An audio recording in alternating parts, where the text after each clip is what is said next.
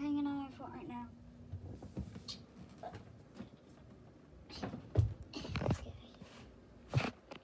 So, um, I haven't been uploading for a reason. For the past couple days, I've been uploading less. And I just wanted to say why, because I feel like you guys deserve it. Um, so, I have some bad cuts on me and I need to take care of them. And I haven't had really a lot of time to upload, and my mom has a lot of rules, so it's been hard for me to upload.